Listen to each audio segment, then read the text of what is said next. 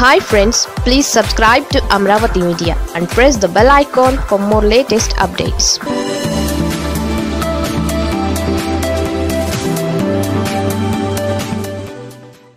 Amaravati రైతులకు YCP MLA బాసట.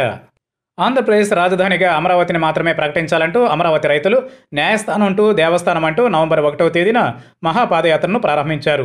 నలభై ఐదు రోజుల పాటు నిర్వహించాలని డిసెంబర్ పదిహేనవ తేదీకి తిరుమలకు చేరుకోవాలని నిర్ణయించుకున్నారు. రాజధాని రైతుల మహాపాదయాత్రకు ప్రజా సంఘాలు ప్రతిపక్ష పార్టీలు మద్దతు తెలుపుతూ వస్తున్నాయి.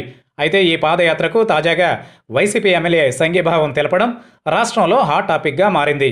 రైతుల విరామ శిబిరానికి వెళ్ళి సంఘీభావం తెలిపారు వైసీపీ ఎమ్మెల్యే కోటంరెడ్డి శ్రీధర్ రెడ్డి. ఇంకో వారం రోజులు మా నెల్లూరు జిల్లాలోనే ఉంటారు. మీకు ఎటువంటి ఇబ్బంది అయినా నాకు వెంటనే ఫోన్ చేయండి అని భరోసా ఇచ్చారు నెల్లూరు రూరల్ ఎమ్మెల్యే. అలాగే పాదయాత్ర చేస్తున్న మహిళలను ఆప్యాయంగా పలకరించారు. ఆ తర్వాత మీడియాతో మాట్లాడిన ఎమ్మెల్యే కోటంరెడ్డి వరద బాధితుల పరామర్శ పర్యటన మధ్యలో రాజధాని రైతులను కలిశా. వర్షాల వల్ల ఏ ఇబ్బంది వచ్చినా నాకు ఫోన్ చేయమని అందరికీ ఫోన్ నెంబర్ ఇచ్చానని తెలిపారు. మహిళా రైతులు అమరావతికి మద్దతు ఇవ్వమని కోరారు. పార్టీ ఏ స్టాండ్లో వెళితే అదే నా స్టాండ్ అని చెప్పానన్నారు. రూరల్ నియోజకవర్గం పరిధిలో వరదలు వర్షాల వల్ల ఏ ఒక్కరికి ఇబ్బంది కలగకూడదు అనేది నా ఉద్దేశం. అదే మానవత్వం సంస్కారం అన్నారు YCP MLA Kotamreddy Sridhar Reddy.